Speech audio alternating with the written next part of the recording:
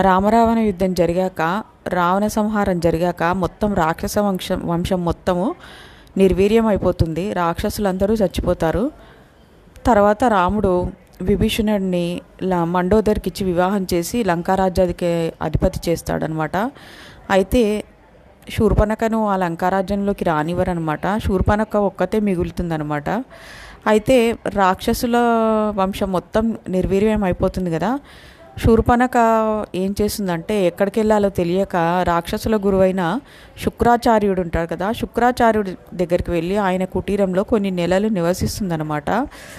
అయితే వాళ్ళిద్దరూ బాధపడుతుంటారనమాట రాక్షస వంశం మొత్తము సంహరించబడింది కదా. మన వంశం రాక్షస వంశం అని చెప్పేసి మళ్ళీ పునరుద్ధరించాలని వాళ్ళు అనుకుంటారనమాట అయితే శుక్రాచార్యుడు గారు ఏం చేస్తారంటే తపస్సు చేయడానికి వెళ్ళి శివుణ్ణి ప్రత్యక్షం చేసుకుంటాడనమాట. అయితే శివుడు శుక్రాచార్యుడు రాక్షసుల వంశం గురించి ఏం అడగకముందే శివుడు ఒక లింగాన్ని ఇస్తాడనమాట. ఈ లింగాన్ని వైష్ణవ భక్తులు అంటే తన భక్తులు ఎవరైనా సరే మన హిందువులం అనమాట గంగాజలాన్ని అత్యంత భక్తితో భక్తి ప్రపత్తులతో ఉండేవారు. ఎవరైనా తీ గంగాజలాన్ని తీసుకెళ్ళి ఈ శివలింగం మీద చల్లితే అప్పుడు మొత్తము రాక్షస వంశం ఇంకా మొత్తం అంతరించిపోతుంది. అసలుకి ఉండనే ఉండదు. కొంతమంది ఉన్నారు కదా వాళ్ళ మొత్తం వంశం మొత్తం నిర్వీర్యం అయిపోతుంది అని చెప్తాడనమాట అప్పుడు ఆ శివలింగాన్ని శుక్రాచార్యుడు ఎక్కడ స్థాపించాలంటే హిందువులు ఉండని చోట స్థాపించాలి కదా ఆ శివలింగాన్ని. హిందువులు ఎక్కడ ఉన్నా వాళ్ళు వచ్చి గా లింగం కనిపించగానే మనం హిందువులం గంగా జలాన్ని నీటిని మనము అభిషేకం చేస్తూ ఉంటాం కదా. అందుకని హిందువులు లేని చోట అసలు నారాయణ అనే శబ్దం వినిపించని చోట ఆ శివలింగాన్ని ప్రతిష్టాపించాలని తీసుకెళ్తాడనమాట ఎక్కడికి? అరబ్ కంట్రీకి. అరబ్ కంట్రీ ఎడారులలో ఆ శివలింగాన్ని లోపల భూమిలో పాతి చుట్టూ ప్రహరీ గోడ నిర్మించి శూర్పణకని ఆ దానికి కాపలాగా ఉంచుతాడనమాట శూర్పణక శూర్పణకకి లక్ష్మణుడు ముక్కుకి ముక్కు కోసేస్తాడు కదా. అప్పటి నుంచి శూర్పణక నల్లని గుడ్డను మూతి ముక్కుకు కనిపించకుండా ఇట్లా నల్లని గుడ్డను కప్పేసి కట్టేసుకుంటుంది అనమాట ఇప్పుడు ఇప్పుడు చాలామంది స్కూటీల మీద వెళ్ళే వాళ్ళు కూడా అట్లా కట్టుకుంటారు చూడండి అట్లా అన్నమాట. ఒక నల్ల గుడ్డ. అలా గుడ్డ కట్టేసుకొని ఆ శివలింగం దగ్గర కాపలా ఉంటూ పెళ్ళి చేసుకుంటుంది అక్కడనే.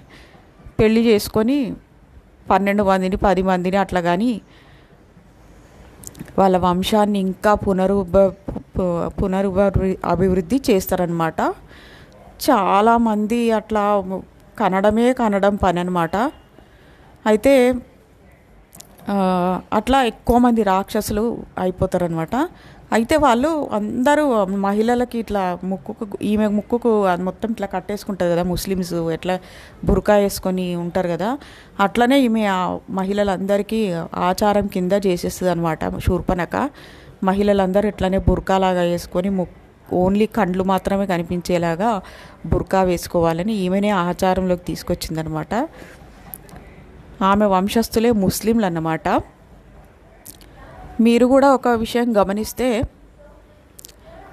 ఆ శివలింగాన్ని ఉంచినది అది అదే మక్కా మసీద్ అన్నమాట. మెల్లిమెల్లిగా మక్కా మసీద్గా ప్రాచుర్యం పొందింది. మక్కా మసీదులోకి మన హిందువులను రానివ్వరు అస్సలకే. కాబట్టి ఇక్కడ మనం కూడా అర్థం చేసుకోవచ్చు. ఏంటంటే అది నిజంగానే అందులో శివలింగం ఉంది కాబట్టి అక్కడ తీసుకెళ్ళి ఎవరైనా గంగా జలాన్ని ఏమై పోసేసిండ్రు అనుకోండి భక్తులు పోయి అప్పుడు ఈ ఈ వంశం అంతా రాక్షస వంశం అంతా నిర్వీర్యం అయిపోతుంది అందరూ పతనం అయిపోతారు కాబట్టి మక్కా మసీద్కి చాలా కట్టుబాట్లు ఉంటాయి అన్నమాట అందులోకి హిందువులను రానివ్వరు. అస్సలకే. మనం ఇక్కడ మనం మామూలుగా వేరే వేరే దర్గాలకి లోపలికి కూడా వెళ్తాం మనం. కానీ మక్కా మసీద్లోకి వెళ్ళనివ్వరు అనమాట అలా శూర్పణక తన వంశాన్ని అభివృద్ధి చేసింది వాళ్ళే ముస్లిమ్స్ అనమాట మనకు తెలియని సీక్రెట్ ఇదనమాట అక్కడ. ముస్లిమ్స్ అనమాట వాళ్ళే శూర్పణక వంశస్థులే అనమాట వాళ్ళు. ఈ సమాచారం నాకు నేను చదివి చదివిందన్నమాట. ఒక బుక్లో నాకు ఎందుకో దీని గురించి వీడియో చేయాలనిపించింది. అందుకే వీడియో చేశాను. మీ అభిప్రాయం కూడా ఏమైనా ఉంటే కామెంట్ సెక్షన్లో కామెంట్ చేయండి ఇలాంటి మంచి మంచి వీడియోలు మళ్ళీ మళ్ళీ చేస్తుంటాను. అందరూ సబ్స్క్రైబ్ చేసుకోండి లైక్ చేయండి షేర్ చేయండి.